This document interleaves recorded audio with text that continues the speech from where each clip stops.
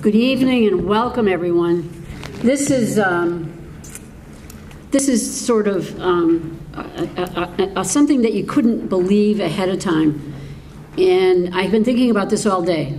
That as as citizens of Boston, as Americans, um, a lot of us were really nervous um, about plan, a planned um, event today in the Boston Common, and I had to think that the press sometimes makes big stories out of very little, um, but I recognized that there was a lot of there was a lot of angst and there was nervousness.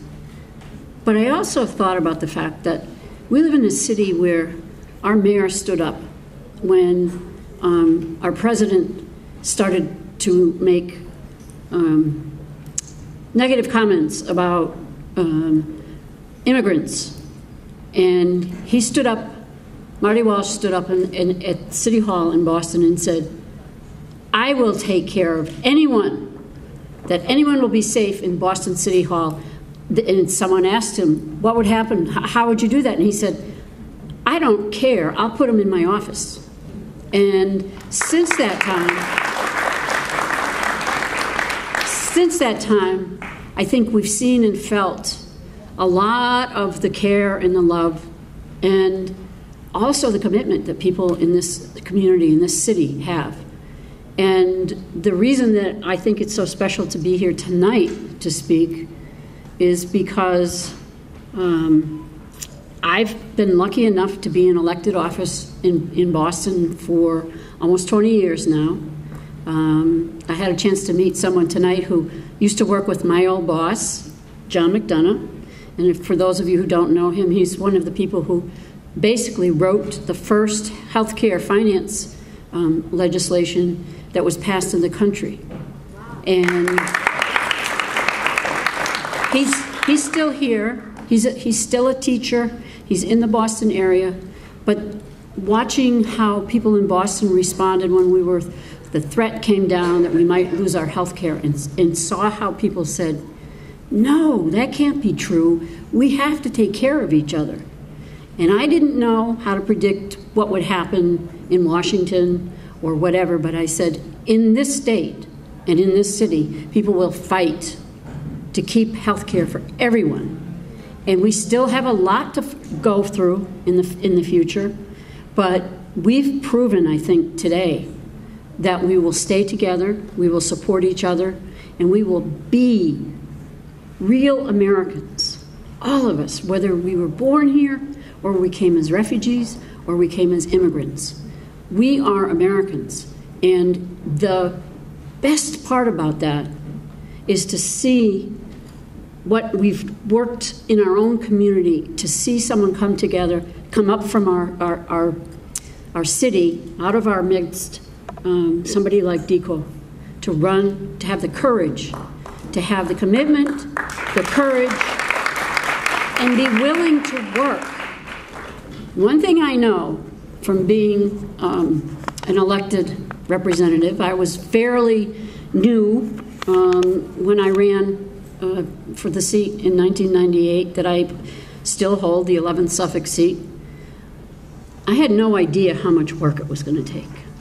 And to see DEQO um, marshal the forces and energize everybody. I mean, we saw some on the on the clip that that was just shown by with the NBC clip. We saw some of the energy and the enthusiasm that she generates with us. And no, you know, those are the things that I believe we really need to have. Some of us are getting older. Some of us have been doing politics for a long time. We need new blood, and that's why I'm particularly happy to, to hear from Hebo um, start out, go to school, commit yourself, get involved in the community, and don't let anything stop you.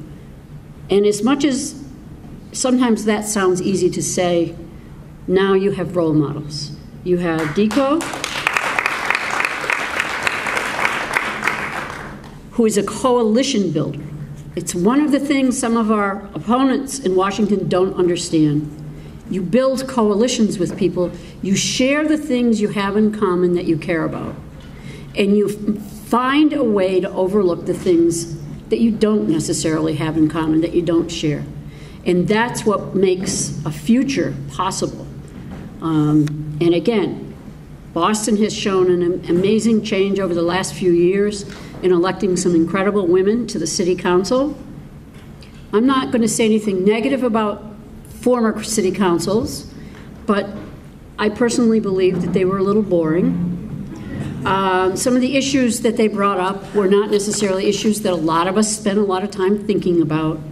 But since we have the new group of women that are on Boston City Council now, there's a lot of hope, there's a lot of energy. We have city councilors who understand how important it is to reach out to the homeless, how important it is to address the opioid epidemic in our, in our state. And they're working with state officials and they're preparing the way for someone who I believe will bring more energy and more dedication. And I think that person is Diko Jabril. I've, I've seen her work. I've seen her work. I know that she speaks to everyone, she respects everyone, and she earns that respect from everyone around her. And those are the kinds of leaders I think we all need for the future. So I also have an opportunity tonight.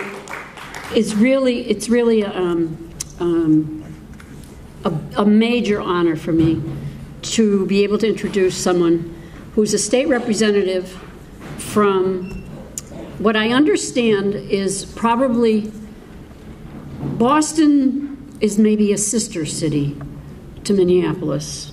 Um, we know there is a large and growing Somali and vibrant Somali community here in Boston, but I know that we're nowhere near how, how, how amazing the population is in, in Minnesota. And to be able to introduce someone who is the first elected Somali Muslim woman in our country to state government is an unbelievable honor. So I have said enough. I'm very grateful to see everyone here. I want to see all of you on election day. Um, we're all going to have to get together and work our work ourselves silly so that we can get Diko elected to be one of the finalists.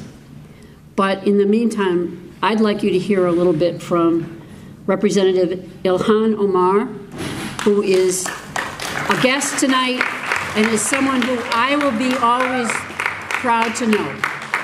Thank you.